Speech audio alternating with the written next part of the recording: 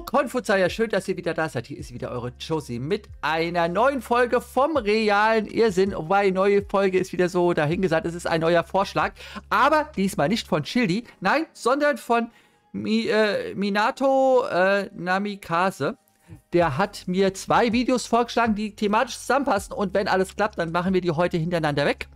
Und ähm, dann kommen die auch ähm, zusammen dann entsprechend hochgeladen in der gleichen Wolke, äh, Woche, Wolke, der gleichen Wolke, genau. In der gleichen Woche natürlich, meinte ich. Und ähm, dabei geht es um Bahnsteige, und zwar zu hohe Bahnsteige in Bad Bentheim. Ähm, die zwei Videos sind ein Jahr auseinander und ähm, es handelt sich um dieselben, äh, um denselben Bahnsteig und wir schauen uns zusammen mal an, was der äh, Minato uns da vorgeschlagen hat. Ich bin gespannt. Ich habe es mir, wie gesagt, ja, mache ich ja nie mir vorher angeguckt, aber wir schauen mal rein. Wir wechseln in die Live-Szene rüber. Da haben wir schon, ich muss natürlich noch groß machen, damit ihr es ordentlich seht. So, dann muss ich hier wieder ein bisschen lauter machen. Dann muss ich hier auch wieder ein Dezibel nach oben gehen. So, äh, ja, es müsste passen. Genau. Okay, gut, dann starten wir mal rein. Der Bahnhof in Bad Bentheim musste dringend renoviert werden. Und wenn die Deutsche Bahn und die Bad Bentheimer Eisenbahngesellschaft zusammenarbeiten, dann klappt auch alles barrierefrei. Ja, ja, äh, wenn die Deutsche Bahn was anpackt, dann soll das funktionieren finden wir gemeinsam den Fehler. Ihr wisst ja, äh, bei der Deutschen Bahn ist es so, dass ein, dass ein Zug erst dann verspätet ist, wenn er 10 Minuten nach der offiziellen Ankunftszeit ankommt. Also ab der 11. Minute ist er verspätet, davor nicht. Davor ist er pünktlich. Deswegen ist die Bahn immer pünktlich. Hier am Bahnhof ist, was äh, Barrierefreiheit angeht, die Erhöhung aller Bahnsteige. Hier war vorher 35 cm, das Ganze wird erhöht auf 76 cm. Ja. Moment, es war vorher 35 cm und wird jetzt auf 76 cm erhöht. Das ist ja eine Verdoppelung. Äh, 76 cm? Welcher Einstieg bei der Bahn ist bitte 76 cm hoch? Hm, okay. Warten wir es mal ab. Ich bin gespannt. Ich bin gespannt. Ja, genau. Die Bahn hat den Bahnsteig knapp 40 cm erhöht. Hier wurde alles neu und hübsch bepflastert. Nur ah, das Bahnhofsgebäude okay. wurde nicht mit erhöht. Da war doch wieder der Fehler bei der Planung. Da war doch irgendwas, was nicht funktioniert hat. Das ist wieder mal so dieses, dieses typische, wir planen etwas, ohne nachzudenken. Und am Ende kommt dann sowas bei raus. Geil. Ja, und jetzt gehen die Türen nicht mehr so gut auf. Ja. Also.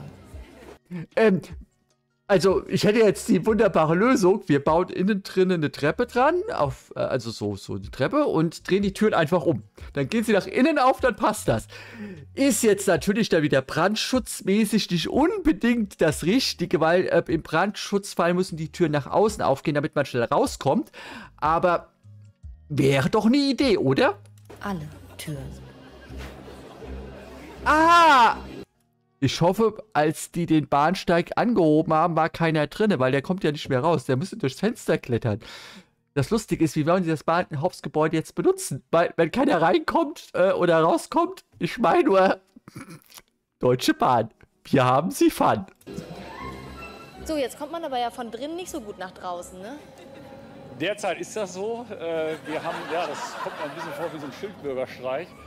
Nee. Nee, wie kommt wir da drauf, dass das ein Schildbürgerstreich ist? Also, das ist doch das, die perfekte Planung der Deutschen Bahn. Sowas, sowas kriegt ihr nur bei der Deutschen Bahn. Woanders kann das nicht passieren. Ja, ich weiß, bevor ihr jetzt unten reinschreibt, doch da und da und da könnte das auch passieren. Ich weiß es, aber irgendwie häuft sich sowas bei der Deutschen Bahn. Und wie gesagt, ähm, ja, schauen wir mal. Nee, ist kein Schildbürgerstreich. Sieht nur so aus. Für den Umbau vom Bahnsteig ist die Deutsche Bahn zuständig. Für dieses Gebäude die Eisenbahngesellschaft von Bad Bentheim. Ah, das ist also natürlich wieder schlau für die Deutsche Bahn gemacht oder gut gemacht für die Deutsche Bahn. Denn die Deutsche Bahn kann jetzt sagen, ja, wir haben ja nichts falsch gemacht, wir haben ja alles richtig gemacht. Der Bahnsteig ist erhöht worden. Was ihr jetzt mit eurem Gebäude macht, das ist ja nicht unser Problem, oder? Und die hat einfach das Gebäude noch nicht höher legen können. Ich. Ich lehne mich jetzt mal aus dem Fenster und sage, das werden sie auch in zehn Jahren noch nicht höher gelegt bekommen. Außer sie reißen es ab und bauen es neu. Aber ich bin mir da nicht sicher, ob das eine gute Idee wäre, weil das ist ja auch nicht Sinn der Sache dahinter. Man kann diese Baumaßnahme hier auf dem Bahnsteig nicht verschieben, nur weil wir noch nicht so weit sind. Die muss gemacht werden und jetzt sage ich mal, da müssen wir jetzt durch. Ähm, ähm, lieber äh, äh, Herr, äh, ich habe jetzt den Namen nicht gelesen, aber lieber Herr, äh, könnten Sie mir mal bitte schon sagen, wie lange Sie planen wollen, diesen Bahnhof anzuheben? Soll da jetzt irgendwo 100.000 Männer kommen und greifen drunter und heben das Ding an und schnell baut jemand was unten drunter und dann setzt es dann wieder ab oder was? ich, ich, also, manch, manche Planungssachen sind einfach. Ich hätte jetzt die Idee gehabt, warum habt ihr nicht vorher Rampen eingebaut, da wo die Türen sind? Wäre auch eine Idee gewesen. Da hätte die Bahn halt mal ein bisschen mitdenken müssen. Da sind Türen, die können wir nicht anheben, also machen wir Rampen ran. Ähm, das ist auch barrierefrei. Es sind ja dann keine Stufen, sondern Rampen. Und äh, es hätte funktioniert. Aber dazu hätte man ja wieder Hirn einschalten müssen. Und da es hier nicht durchgeht, muss es wohl woanders durchgehen. Die Leute Ja. gehen quasi nicht durch die Tür, sondern sie gehen durchs Fenster. Ja, dafür ist das Fenster ja auch da, dass man da durchgehen kann. Ey, das macht je, ma- machen viele Einbrecher, die gehen durchs Fenster. Mhm. Also, für die Einbrecher ist das perfekt. Die machen das Fenster auf, da ist so ein kleiner Stuhl davor, da steigen die drauf und dann gehen sie durchs Fenster auf den Ähm, was ist mit der Unfallverhütungsvorschrift? Äh, die wird einfach mal außer Kraft gesetzt. Ein Stuhl, der sich dann auch noch drehen könnte oder nicht fest verankert ist. Hätte ich lieber eine Stufe hingebaut. Durchs Fenster? Da gibt's ja wohl nicht, oder? Ja, doch. Sonst war es zu. Nein, da ist, da ist ja noch ein Fenster, aber Sie ist ein Turnverein. So ein bisschen sportlich muss man natürlich schon sein, wenn man ab Bad Bentheim reist.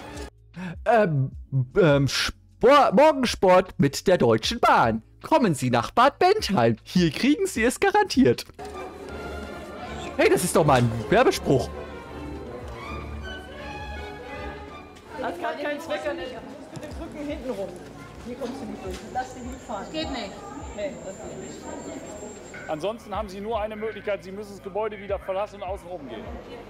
Ja, ja, ja, äh, wie gesagt, das ist deutsche Planung, äh, ohne Sinn und Verstand. Und wer nicht gut im Klettern ist, ist hoffentlich gut im Wandern. Ähm, der Wanderverein Bad Merk, äh, ba Bad Bentheim, Entschuldigung, Bad Bentheim, hat dafür jetzt natürlich wieder was Tolles. Sie können eine neue Rundstrecke machen. Einmal rund um den Bahnhof.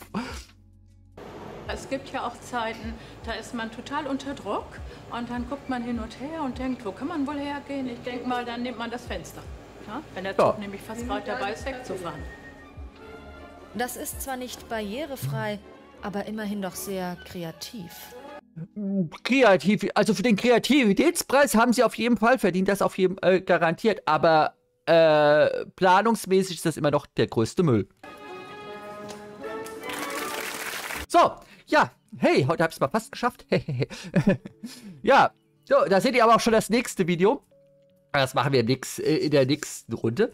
Ähm, ja, also als allererstes mal an den Minato Namakase, äh, Namikase, so rum. Äh, ein Dankeschön äh, für diesen Vorschlag. Es war ein tolles Video. Ich konnte mich wieder schön aufregen. Ich liebe das. Das ist so das Tolle an an Adrian Ersin. Man kann sich so schön darüber aufregen. Und wenn man das so gerne macht, wie ich das tue, ja, perfekt. Äh, gerne weitere Videos. Äh, dein zweites Video schauen wir uns gleich noch zusammen an. Und äh, ich muss dazu sagen, also, äh, das ist wieder typisch Deutsche Bahn. Ihr wisst ja, ich liebe die Deutsche Bahn. Ich wäre unheimlich gerne Mitarbeiterin bei denen. Die nehme ich aber nicht. Gut, okay. Nach solchen Videos wie jetzt hier gerade eben, wo ich mich über sie lustig mache, da könnte ich doch verstehen, okay, gut, warum sie mich nicht nehmen. Aber hallo, ich bin eine Mitarbeiterin mit Humor. Das muss man erstmal finden.